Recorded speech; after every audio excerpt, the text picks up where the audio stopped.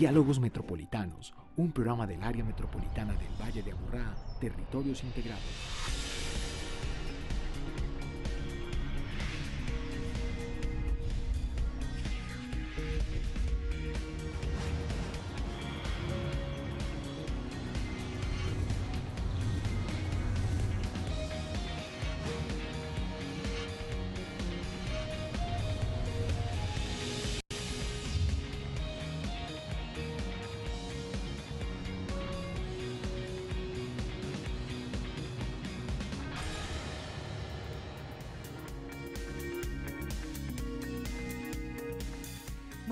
Noches, muy buenas tardes para quienes nos están viendo miércoles 8 de la noche o nos ven domingo a las 2 y 30 de la tarde. Han llegado a este encuentro, a Diálogos Metropolitanos, un espacio para entender nuestro territorio, para enamorarnos más del Valle de Aburrá y comprender temas que son de interés metropolitano. A quien no vive aquí en el Valle de Aburrá y nos está viendo, nos está viendo desde otro país, nos ve por la señal que tiene Telemedellín, www.telemedellín.tv en vivo o ha vuelto a ver el programa porque tenemos la opción de volverlo a ver, siempre queda en el canal de YouTube que tiene Telemedellín, eh, también bienvenidos, porque hoy sabemos que la televisión no solamente tiene un horario, sino que responde a las necesidades de quienes nos están viendo. Hay un consumo ahí con mucha responsabilidad y a propósito de eso es lo que tenemos hoy como tema clave, el consumo sostenible, la responsabilidad en el consumo de los productos, de los servicios y hoy como les estoy diciendo en televisión pues tenemos una tarea con la televisión pública y es cómo consumimos lo que nosotros estamos haciendo y la posibilidad que ustedes tienen de elegir lo que quieren ver porque les sirve, les suma y les ayuda a la calidad de vida. Hoy tenemos varios invitados y me acompaña Paola Cardona en el tema de redes sociales. Paola, bienvenida y cómo vamos a conversar con los televidentes. Hola Liliana, un saludo muy especial para los televidentes que hoy están interesados en este tema del consumo sostenible. Pues bien, tenemos esta vez la etiqueta numeral Medite en el consumo. Es una etiqueta creada por el área metropolitana del Valle de Aburrá con su campaña y que tiene esa doble acepción. Por un lado, meditar, sobre reflexionar sobre ese consumo y también medirse, porque hoy también está muy vigente ese tema de que midamos nuestra huella en el planeta. Entonces, invitados a que en Twitter, en las cuentas arroba área metropoli, arroba telemedellín, participen también con esta etiqueta de medite en el consumo. Y también pueden estar con nosotros en Facebook. Claro que sí, tenemos nuestra página en Facebook propia de Diálogos Metropolitanos, arroba Diálogos Metropolitanos, ahí nos encuentran que, como bien lo dice Liliana, pues hemos publicado todas las notas que estamos produciendo muy especiales para los televidentes, todos los programas para que no se los pierdan o los repitan también. Entonces, muy invitados a que sigan eh, nuestro canal eh, nuestra página web en Facebook. Y sabemos que este es un material que es de gran utilidad para los centros de investigación eh, los estudiantes, los docentes de distintas eh, carreras y de distintos programas en educación básica y por eso les decimos, pues, el consumo de la televisión también lo podemos intencionar. Quedan las notas pregrabadas y el programa completo para que ustedes lo reusen y también lo reutilicen. Hoy vamos a aprender las cuatro R's y yo las estoy tratando de aplicar a, la televisión y por eso le doy la bienvenida a mis invitados, la doctora María del Pilar Restrepo Mesa, subdirectora ambiental del área metropolitana. Bienvenida, ya nos estaba haciendo falta. Nos dejamos descansar un ratico. Eh, muchas gracias eh, Lili por la acogida en el programa.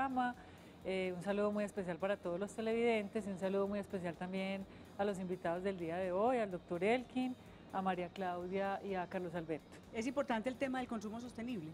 Definitivamente, o sea, si nosotros trabajamos en el consumo sostenible, si hacemos una reflexión sobre lo que realmente estamos comprando, qué hacemos con los residuos, a dónde van, eh, de verdad que podemos hacer una mejor utilización de nuestros recursos naturales y entender de que no son infinitos y que todos podemos contribuir a su mejor uso y a su mejor aprovechamiento. Bueno, con muchos años de experiencia en el tema de la educación al consumidor y al usuario, nos acompaña Elkin Rodrigo Merino Espinosa, profesional de la Unidad de Educación a Clientes y Comunidad de EPM, de nuestras empresas públicas de Medellín. Bienvenido, Elkin.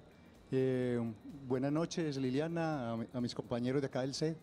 Sí, desde EPM venimos trabajando este tema desde hace mucho tiempo, el uso eficiente de los servicios públicos domiciliarios. ¿Y qué tal nos va con eso?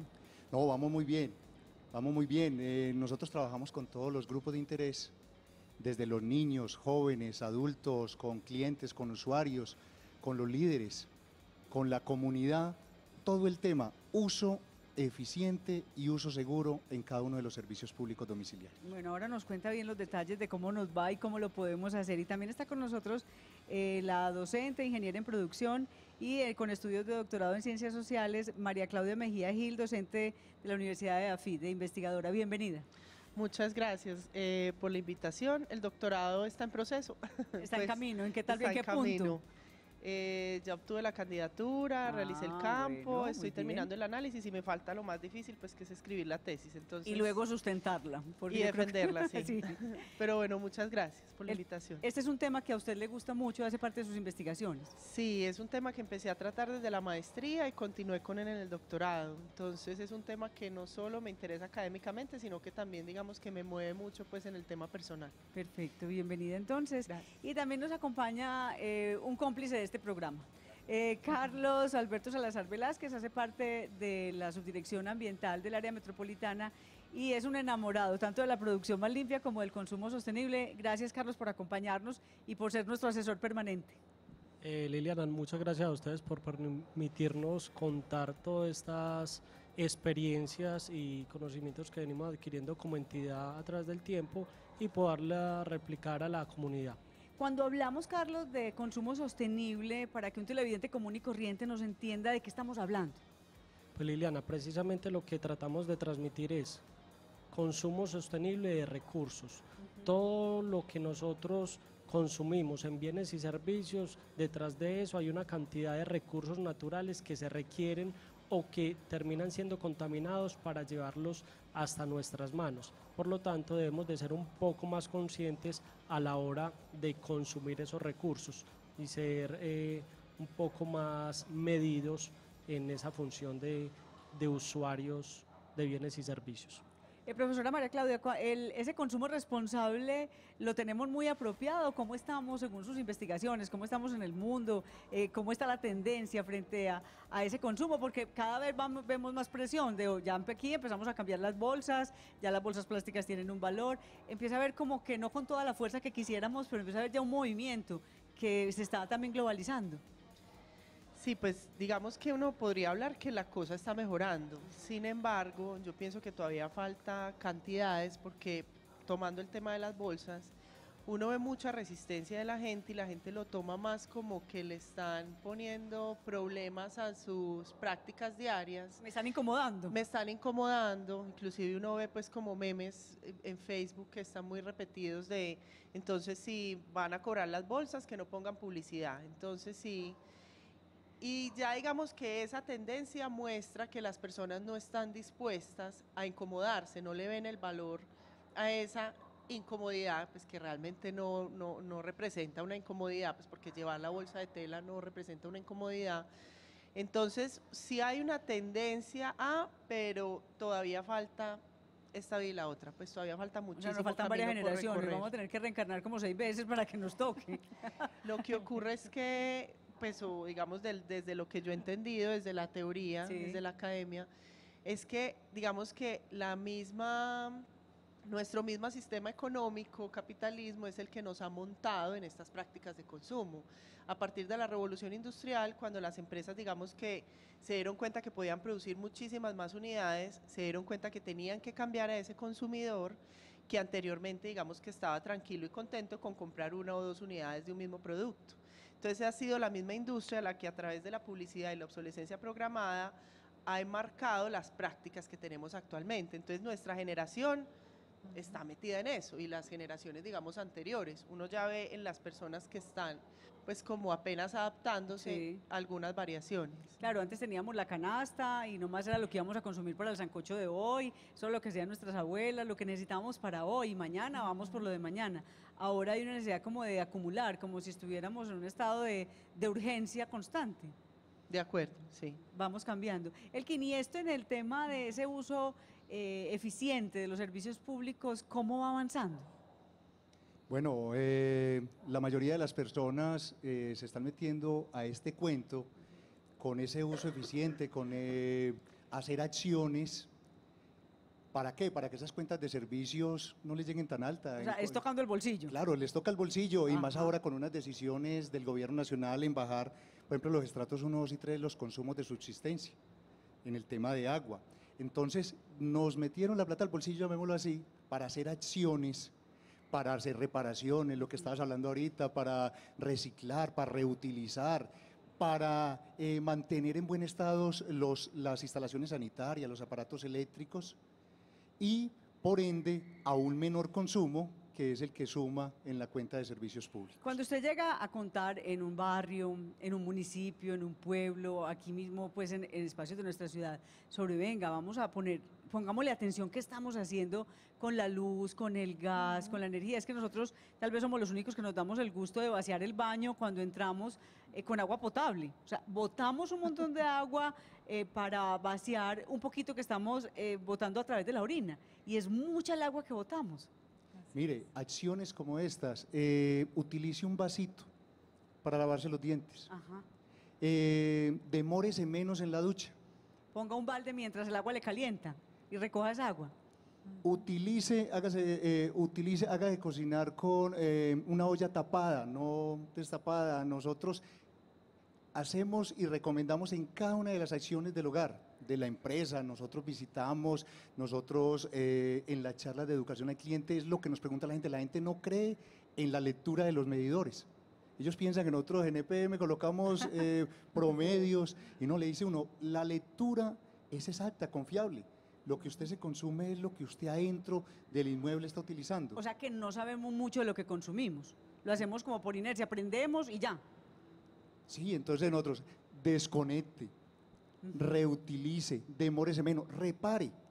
Muchos electrodomésticos, en EPM hace, hace unos años se hizo un estudio y el electrodoméstico con más consumo es una nevera. ¿Por qué? La nevera, la gente piensa que consume las 24 horas del día y la nevera consume cuando usted la escucha. Cuando, Cuando está en silencio. Eso. Y ahorita lo decías, nosotros le decimos a la señora, piense qué va a hacer de almuerzo. Y ya cuando la señora abre Y al la señor, nevera... porque ya hay unos que cocinan muy Y, bueno. la- y le decimos, piense. Y él simplemente abre la nevera, saca las cosas y ahí está haciendo un ahorro de pensar con la nevera abierta. Entonces son acciones, O sea, son no, hábitos. no pensar con la nevera abierta. Primero piénselo usted, después abre la nevera y saca lo que necesita. ¿sí? Tener una nevera, si usted no tiene cómo congelar o no, o no tiene tanto, tampoco tener una nevera muy costosa o que le gaste mucho. O sea, Sí. puede tener otros electrodomésticos. También hay que saber qué electrodoméstico realmente necesito yo. Tal vez no lo necesite todos. Y desconectar. Desconectar es importante. Sí, eh, ¿qué dice el fabricante? Muchos de los aparatos eléctricos que funcionan con stand-by, Sí. si usted los apaga y siguen conectados, el fabricante dice, consume un 10% de la potencia. Entonces, recomendación, desconecte todo menos La nevera. la nevera. Ajá. Entonces son como acciones, recomendaciones que tenemos nosotros desde la unidad de educación al cliente que les recomendamos a todos nuestros clientes y usuarios. Doctora María del Pilar, ¿por qué es importante como área metropolitana y como autoridad ambiental estar pendiente de este consumo sostenible? Bueno, porque el área metropolitana como autoridad ambiental urbana y como responsable de toda la planificación integral del territorio, pues tiene que velar por el adecuado manejo de los recursos naturales. Y bien lo decíamos ahora al inicio, si nosotros vamos hacia la persona que está haciendo el consumo de cualquier producto, sabemos que ese producto pues no salió por generación espontánea, sino que es un producto que lo tenemos en nuestras manos, pero ahí se utilizó agua, se utilizó energía, se utilizaron otros productos de esa naturaleza y que si nosotros somos conscientes de ese producto que estamos obteniendo y pensamos un poco en el ciclo de vida del producto, por ejemplo, cuando estamos almorzando, estamos cenando, estamos desayunando, los huevos de dónde vienen, eh, Leche. la leche, la arepa, la mantequilla, o sea, en un solo desayuno, cuántas personas tuvieron que intervenir y cuál es la huella que tiene ese producto, pues vamos a hacer una, una mejor utilización. Por lo general pensamos que los recursos son infinitos y ahora eh, lo decía muy bien nuestra docente de AFID, pensamos que no, eso va a estar siempre ahí, lo vamos a tener dispuesto, pero cuando se vienen las posibilidades y los riesgos de un racionamiento de agua, de un racionamiento de energía, y lo hemos vivido en la región, ha sido muy bonito y en el país que inmediatamente empezamos a reducir el consumo porque tenemos el riesgo del racionamiento, es decir, no, no lo vamos a tener, no vamos a tener el recurso, entonces ahí sí cierro la llave, ahí sí apago la, la luz, el bombillo, entonces no debemos de llegar a al extremo de, que no- de la carencia, sino tener un tema de conciencia de que vamos avanzando en el cuidado de nuestros recursos naturales, por eso la autoridad ambiental tiene que proteger y tiene que crear estas oportunidades de consumo responsable y consciente para que entonces entre todos cuidemos lo que, los, los recursos que tenemos. Carlos, usted iba a decir algo. Eh, sí, Liliana, dos datos eh, ya como un poquito técnicos con relación al consumo de agua. Eh, es increíble que a estas alturas de la vida todavía tengamos inodoros de 18 litros por vaciada. Les pongo un caso puntual, como lo decías ahora. Usualmente cuando entramos a un baño a orinar, eh, una orina es aproximadamente de 100, 150 mililitros. Y estamos vaciando un baño con 18 litros, es decir, hmm. casi 120 veces más de líquido para botar esa agua. O sea, contaminamos con 100 mililitros 18 litros. O sea, son 120 veces más de agua potable. Eh, estamos en este momento en un promedio per cápita, un, consumo diario por persona eh, de 114, 115 en el Valle de Aburrá, pero todavía tenemos muchos, 115 litros día, 114 más o menos, pero tenemos muchas oportunidades, como lo decía eh, la jefe María del Pilar, el año pasado con el fenómeno del niño, nos vimos eh, para, para tener la capacidad de, suministrar el recurso para todo el Valle de ¿Cuál es el mensaje? El mensaje para la comunidad y para la sociedad es, el agua no nace de la canilla, el agua ah. no nace de la canilla, el agua viene de unos procesos muy largos. Y los huevos de la nevera. Así es. Hay que de la góndola del supermercado. y, el objetivo es que la gente se ponga a pensar que en el Valle de Aburrá hay alrededor de 3.700.000 personas Imagínense que cada vez va en aumento y si no somos conscientes responsablemente de manera individual, quizás ese suministro colectivo se pueda haber comprometido en algún momento de sequía. Hay que pensar como individuo y como colectivo. Eh, pensando en el colectivo futuro. Eh, reforzando lo de Carlos, eh, nosotros hacemos mucho énfasis en el manejo de las instalaciones internas. Independiente de eso, hay que hacer las reparaciones sanitarias, una llave goteando, un inodoro en malas condiciones puede generar hasta pérdidas en un día hasta de 3 metros cúbicos. Ay, qué pesado. Entonces es parte de eso, mantener en buen estado las instalaciones internas eh, de, de acueducto, de energía, de gas que es parte de, ese, de la conformación de lo que nosotros hablamos de uso eficiente de servicios públicos. Bueno, queremos compartir con ustedes un recorrido que hicimos en la nueva Villa de la Urra, en un trabajo conjunto de Corantioquia y el área metropolitana, en donde se hace un esfuerzo, por lo menos para educar, para antojar, como lo llamamos, sensibilizar en el tema de un consumo sostenible. Veamos. Hay una gama que está vinculada a los programas de evolución post-consumo son unos residuos que siendo peligrosos están vinculados a los programas que ya están reglamentados por el ministerio y que hacen parte de un programa completo que lleva a tener sitios de acopio para que la comunidad en general que tiene este tipo de residuos en sus casas eh, los pueda disponer en unos sitios especiales y en esos sitios se lleva el residuo, se dispone de manera que el gestor, un gestor autorizado, los lleve nuevamente ya sea a una disposición adecuada o se los devuelva a sus fabricantes para nuevamente ser usados. Dentro del grupo de residuos peligrosos hay una gama demasiado amplia, o sea, puede haber eh, lo que son aceites usados, eh, pilas, eh, baterías plomo ácido, luminarias, las llantas, medicamentos usados ya vencidos, eh, componentes de computador e impresoras.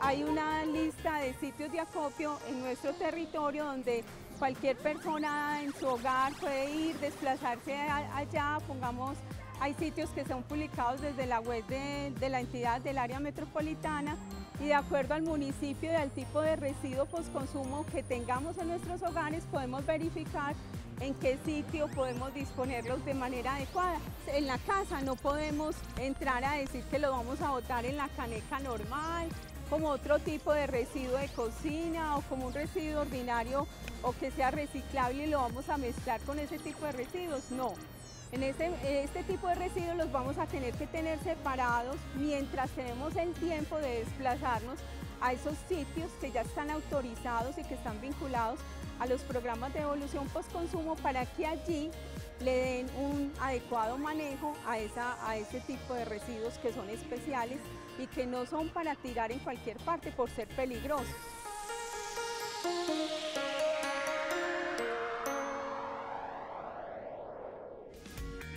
Estén atentos a estas actividades porque en este convenio conjunto de Corantioquia y el área metropolitana están recorriendo distintos municipios, eh, zonas del municipio de Medellín y también de los otros nueve municipios del Valle de Aburrá para que ustedes lo disfruten y también aprendan. Sabemos que en estos temas loro viejo se aprende a hablar y los adultos aprendemos, aprenden los niños, los jóvenes, si es posible que asumamos una actitud porque eso tiene que ver con la vida. Y frente a eso, Paola, hicimos la consulta en Twitter. ¿Qué nos dijeron? Sí, hicimos una encuesta, les dijimos a todos nuestros seguidores en Twitter cuál es la mejor manera de aportar al consumo sostenible con esas famosas cuatro R's que hoy estamos tratando de que los televidentes pues aprendan muy bien. Dijimos entonces pues como opciones reducir el consumo, reusar varias veces, reutilizar para otro fin o destinar al reciclaje.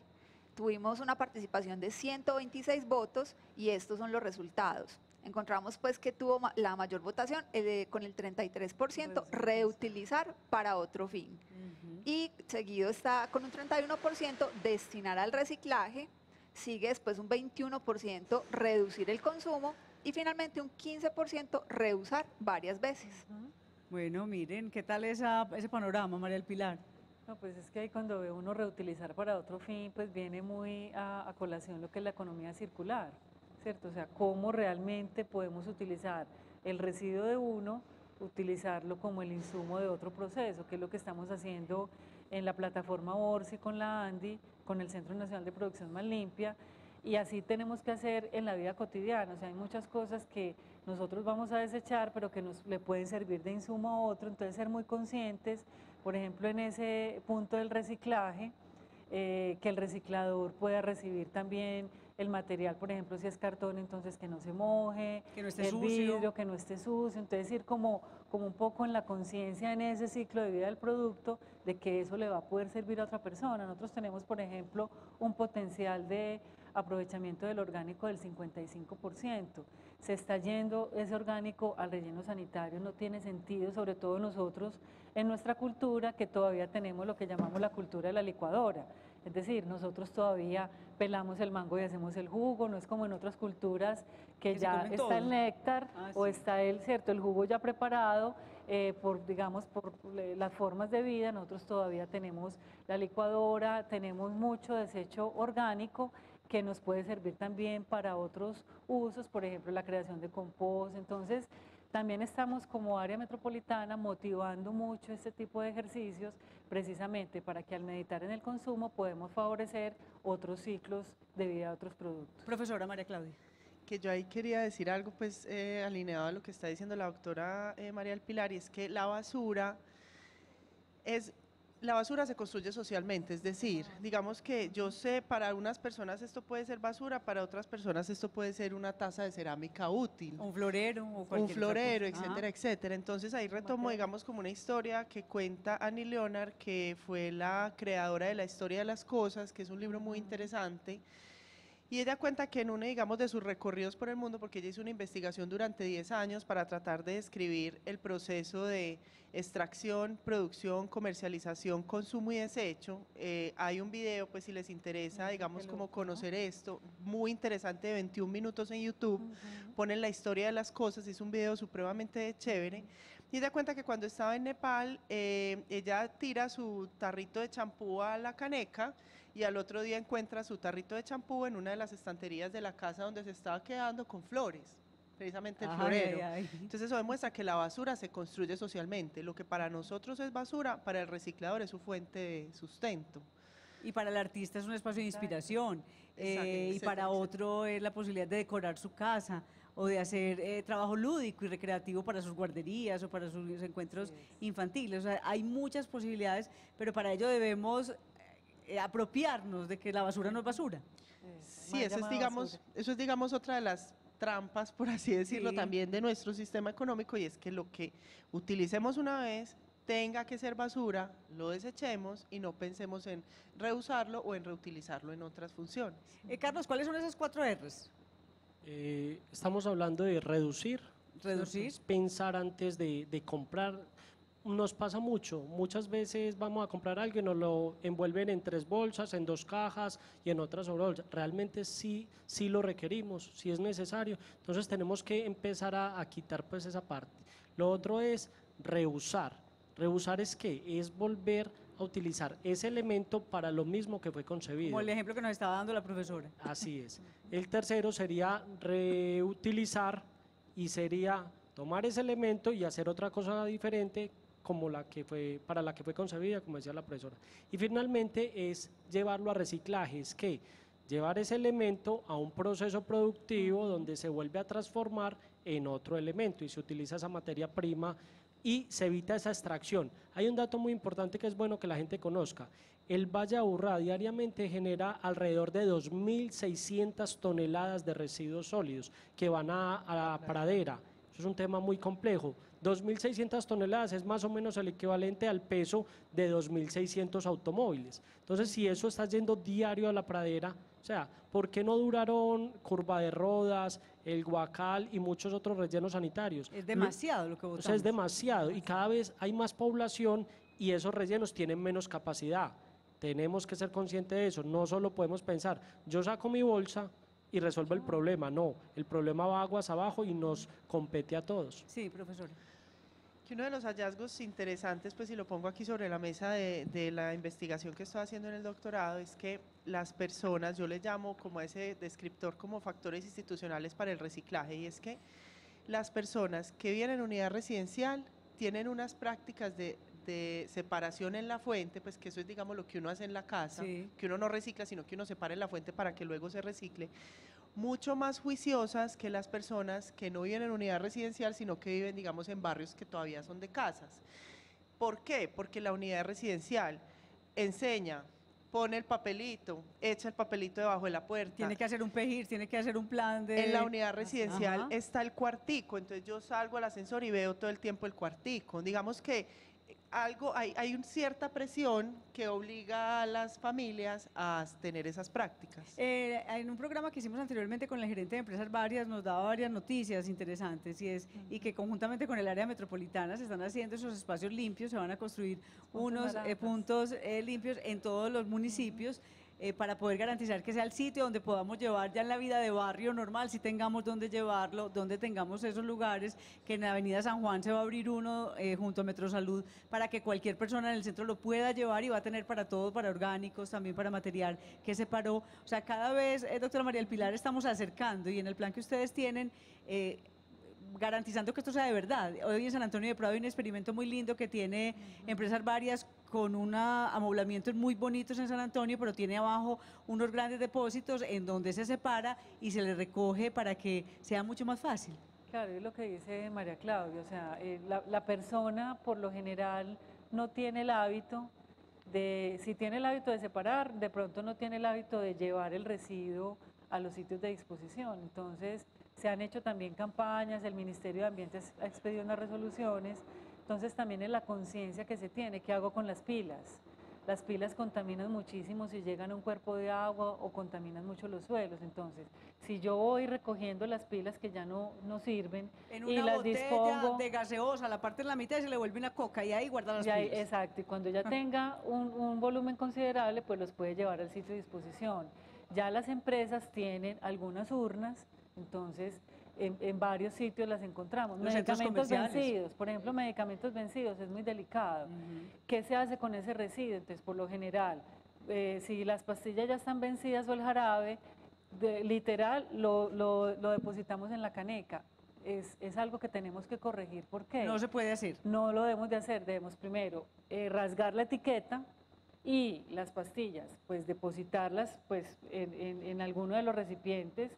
¿Para qué? Para que no se vuelvan a utilizar. O coger el medicamento completo y hay unas urnas en las farmacias donde se puede, que está con la pastilla o está con el jarabe, las podemos llevar. Igual con las luminarias, que son las, las luces estas que tienen altos contenidos de mercurio, las llantas, en fin, hay una serie de elementos que tienen que tener ya el, el productor tiene que tener unos sitios Para definidos recogerlos. para poderlos recoger. Entonces están también los residuos eléctricos y electrónicos. Entonces es la conciencia que tengamos nosotros. A veces nos frustramos y a uno le dicen, pero yo para qué separo, como Si me- decía María. Claudia, si finalmente se mezcla. Ya están también entonces las empresas prestadoras Haciendo trabajo. rutas de recolección y haciendo el trabajo para que esto no llegue entonces al cuerpo de agua, no llegue a contaminar los suelos. Bueno, nosotros vamos a aprender aquí varias palabras y yo les voy a presentar unos personajes que se llaman los meditones. Los meditones son dos personajes de una estrategia educativa que está liderando el área metropolitana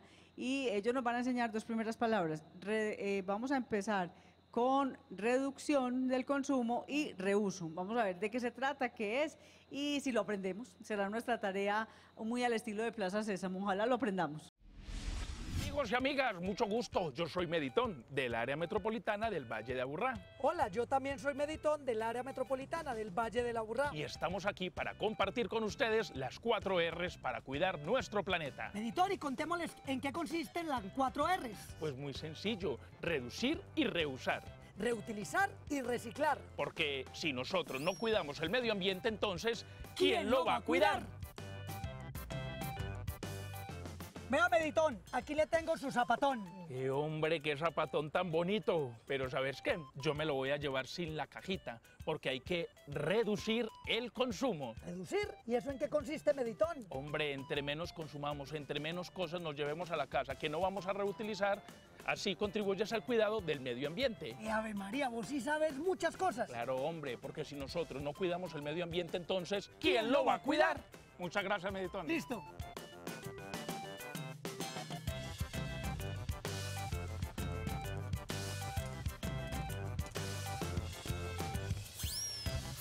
Eh, hombre, Meditón, ¿vos qué vas a hacer, hombre? ¿Cómo así que qué voy a hacer? Pues a botar la botella. No, hombre, no la botes, porque esta botellita yo la puedo reutilizar. Reutilizar, ¿y eso en qué consiste, hombre? Hombre, muy sencillo. Yo cojo y corto esta botellita y en la parte de abajo siembro unas maticas y con el otro lado le echo agüita a las maticas. Eh, Ave María, Meditón, vos siempre dando consejos tan fundamentales. Hombre, claro, porque es que hay que cuidar el planeta, porque si nosotros no cuidamos el medio ambiente, entonces, ¿quién, lo va a cuidar?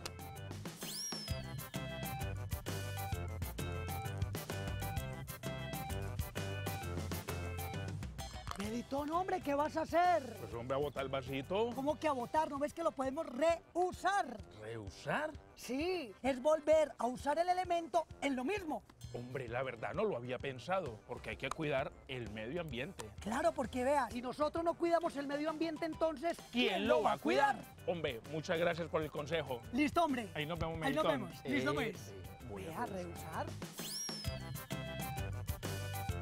Y ahora nos vamos con la cuarta R. ¿Qué consiste en reciclar? Reciclar los cinco elementos reciclables. A ver, ¿y ustedes saben cuáles son los cinco elementos reciclables? Muy sencillo. Papel, cartón, vidrio, plástico y metales. Y para que lo recuerden, una canción les vamos a enseñar. A ver, Meditón, sin, seis, sin, seis, siete, va. Papel, cartón, vidrio, plástico y metales son cinco elementos para reciclaje. ¡Yeah! Y estamos en Diálogos Metropolitanos conversando de consumo sostenible. Como lo han visto, hemos dado un barrido general y un paso por cada uno de los temas, de los comportamientos, de las actitudes. Estamos aprendiendo unas palabras nuevas para ponerlas en prácticas. Y queremos conversar con una invitada especial que tenemos en la ciudad de Bogotá, que es la directora nacional de Abaco, es de la Asociación de Bancos de Alimentos de Colombia, la doctora Ana Catalina Suárez Peña. Nos comunicamos con ella vía Skype y le doy el saludo. Doctora Ana Catalina, muchas gracias por estar en el programa. Lili, hola, gracias por la invitación y un saludo a todas las personas que nos acompañan. María del Pilar, compañera de la Alcaldía de Medellín en el 2004, 2005 y bueno, al equipo de EPM, AFIT y obviamente Área Metropolitana por abrirnos este espacio. Para iniciar, ¿qué es Abaco? Eh, porque no lo conocemos tanto. ¿Qué ABACO es la Asociación de Bancos de Alimentos de Colombia, es una organización sin ánimo de lucro que se dedica a rescatar alimentos, convencer a la gente que votara co- comida no es ética y que esa comida que normalmente votamos es apta para el consumo humano y se la podemos entregar a personas eh, que no tienen las condiciones mínimas para garantizar una vida saludable. es? ¿Cómo estamos en Colombia en este tema de votar la comida?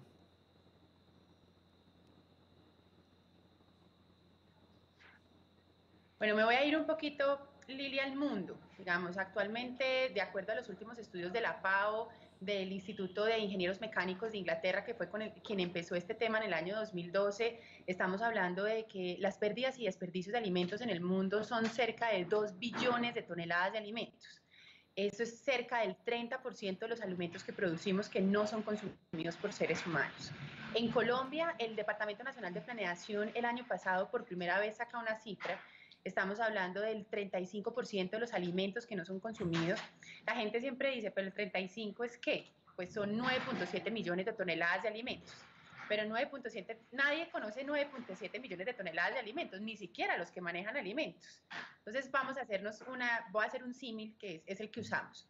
Nosotros deberíamos consumir más o menos entre 430 gramos, deberíamos consumir 430 gramos de fruta y verdura diariamente, ¿sí? Tú y yo, el promedio de la población colombiana consume cerca de 130 gramos de fruta y verdura diariamente. Yo espero que tú y yo consumamos un poquito más porque llevamos hablando mucho tiempo de esto. Em, y la población en situación de vulnerabilidad consume 45 gramos de fruta y verdura diariamente. 45 gramos es una manzana pequeña, más o menos este tamaño de la mano.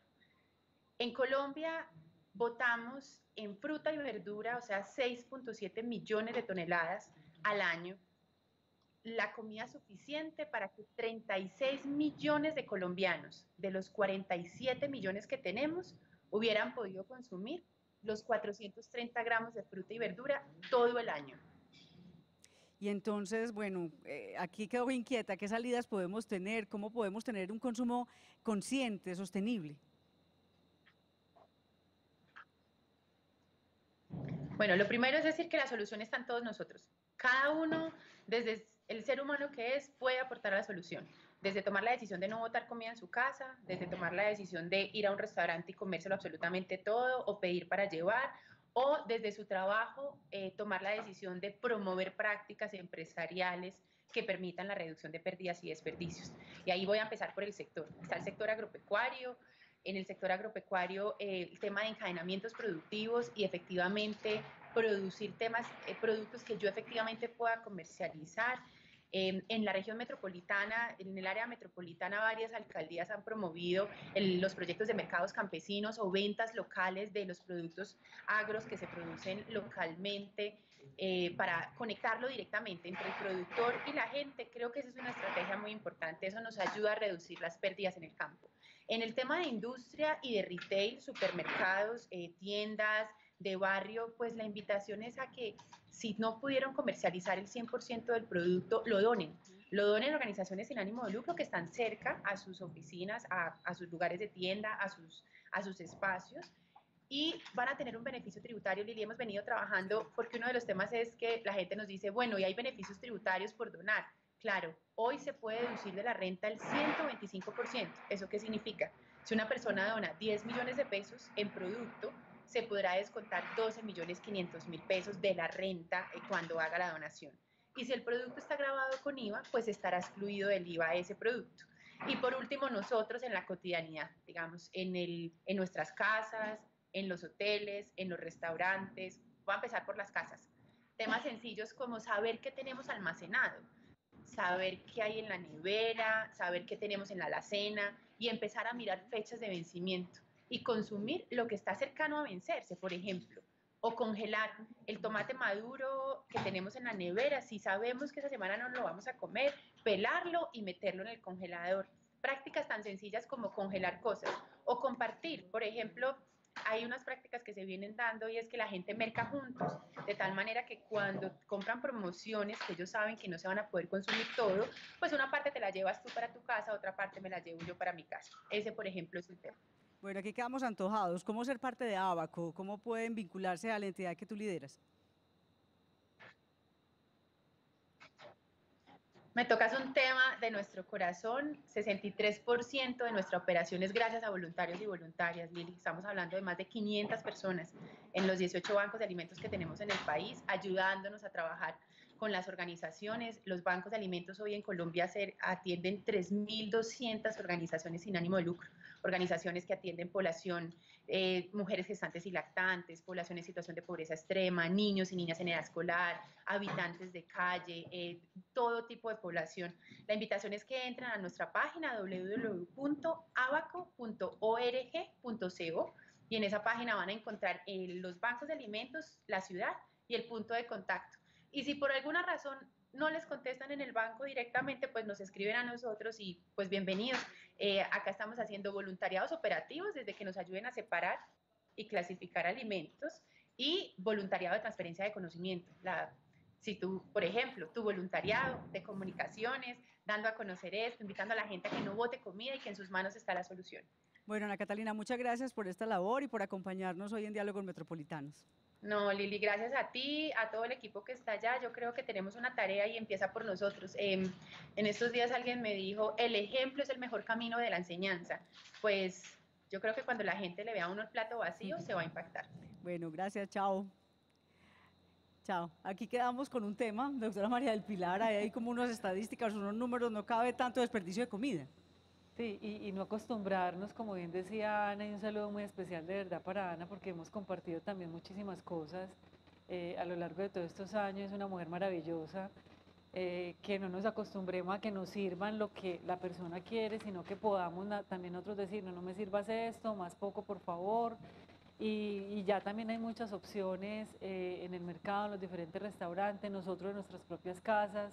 Entonces que podamos controlar muchísimo eso y saber que también si hay residuos, por ejemplo las cáscaras también se pueden reutilizar en algunos puntos, en, el mismo hogar, pero si definitivamente no, entonces llevarlo a un sitio donde podamos hacer, o bien sea el compost, como, como bien lo decía la, la profesora ahora, en las unidades residenciales también se está promoviendo mucho los compost por unidades residenciales para que se genere también entonces un abono que estamos necesitando para plantar los árboles y para hacer como todo el cierre de economía circular. Carlos. Liliana, es importante también aclarar un poco a los eh, televidentes que estamos hablando de pronto de agua, de energía y por qué resultamos hablando de, alimentos, ¿cierto? No es solo el tema de los alimentos porque se pierdan, claro, hay que ser eh, colaborativos, pero también de dónde viene. Uno de los mayores impactos en el ambiente es la producción agropecuaria. Entonces, si nosotros estamos desperdiciando esa cantidad de, alimentos, quiere decir que estamos desperdiciando agua, que estamos desperdiciando tierra. Horas de personas. Horas de personas, químicos que se utilizan para producir eso. Entonces, entre más intensivo sea todo ese proceso, es más complejo. Eh, no es lo mismo producir un kilo de carne que un kilo de verduras, por ejemplo, y los impactos que tienen el uno y el otro afectan el desarrollo de nuestro medio ambiente. Profesora. Eh, me quiero devolver un poquitico y es al tema de, la separación en la fuente.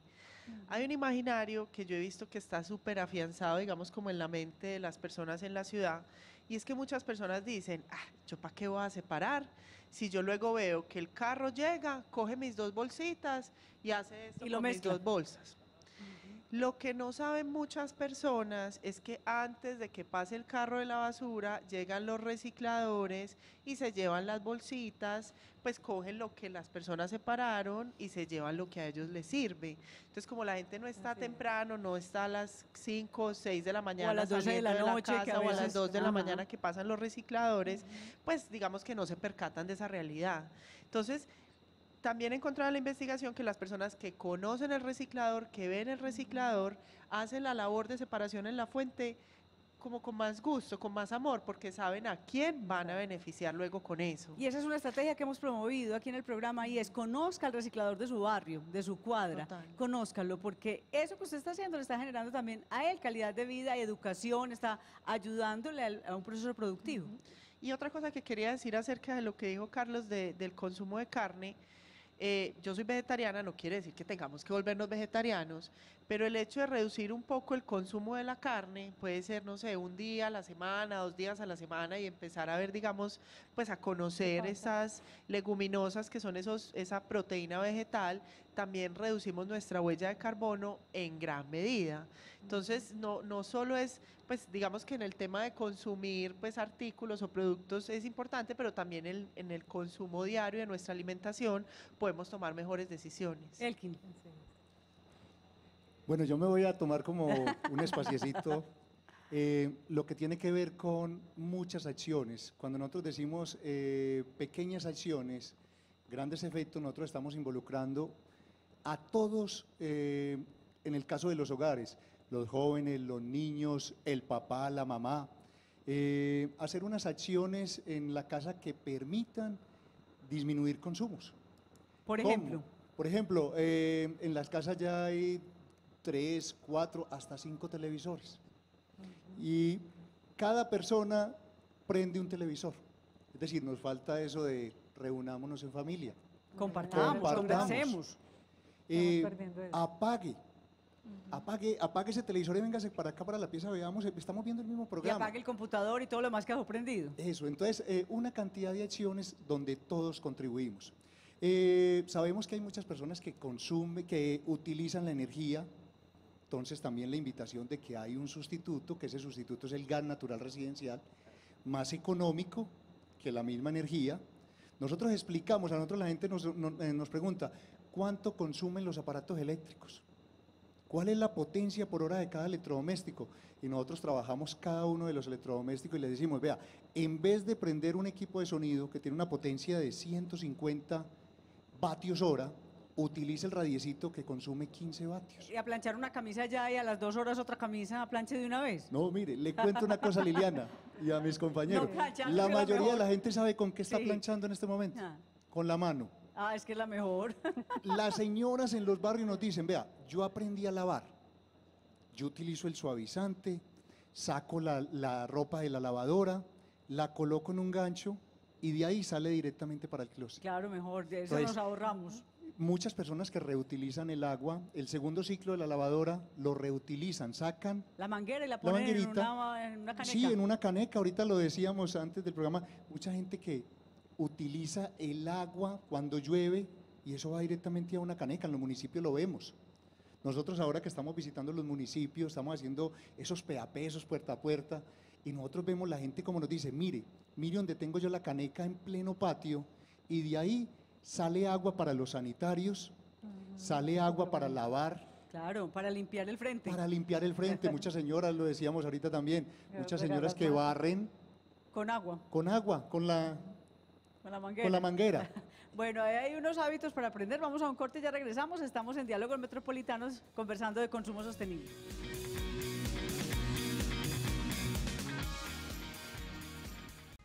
Quedamos aquí muy antojados de seguir conversando del tema y por eso quiero proponerle a mis invitados que cada uno le dé una propuesta al televidente. Ya el que nos dio un montón de ideas. ¿Qué otras ideas tienen, Carlos?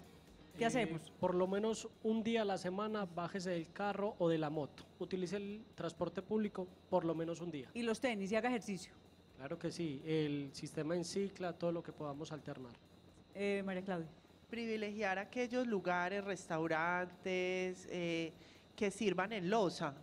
Pues porque Y no uno- desechable. Y no en desechable, porque entonces uno sabe que el desechable dónde va a terminar muchas veces ni es reciclable, porque muchas No veces es. ni es reciclable algunos plásticos, o puede que sea reciclable y no se llegue a reciclar y termine en el relleno. En cambio en losa se lava y uno finalmente no, no, pues no se produjo ninguna basura. Perfecto, Elkin. Yo les voy a dar un consejo, adopte un sumidero. Cuando las personas barren las calles, Sí. no le tire la basurita al sumidero. Es Esos decir, al rejilla, a la rejilla por donde cae lo- el agua. Eso, la reja de alcantarilla. Sí. Esa reja cuando hay invierno es la que nos saca de muchos problemas. Entonces mantengamos esos sumideros limpios.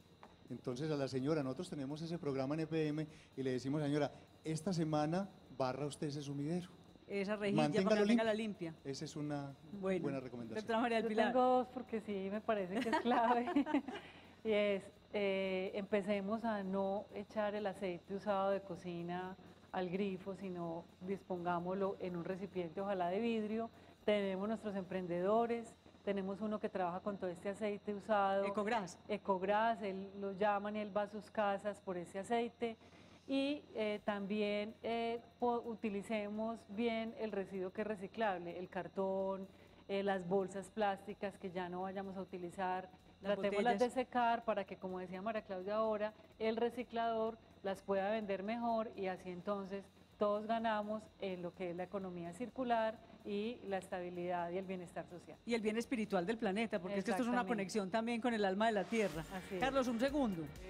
Por favor, cambien los inodoros de 18 litros por inodoros de 6 litros. O no vuelvan al baño. Pues una de No, no, las no, opciones tampoco. Paola, ¿algo que decir? Sí, que ingresen al sitio web www.metropol.go.co y busquen el enlace de Calcula tu huella de carbono. Una súper invitación. Bueno, algo para buscar, muchas tareas. Y creo que ustedes quedan con muchas ideas, con muchas preguntas. Nos pueden escribir a diálogosmetropolitanos.tv o en nuestras redes sociales. Aquí provocamos una conversación porque nos interesa que nos enamoremos de nuestro Valle de Aburrá, que nos cuidemos, nos queramos y seamos por fin territorios integrados. Nos vemos.